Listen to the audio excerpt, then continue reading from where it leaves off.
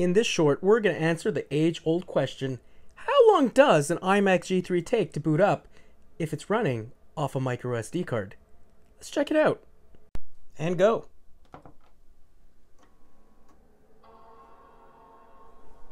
This is exciting. Will it boot up before the end of this short? We don't have a lot of time.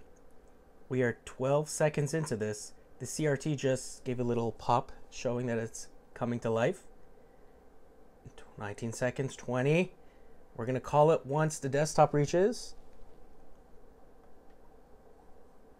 Let's see now. We're going to run out of time. It's hanging up a little on 9.2 here. Starting up. And 46 seconds.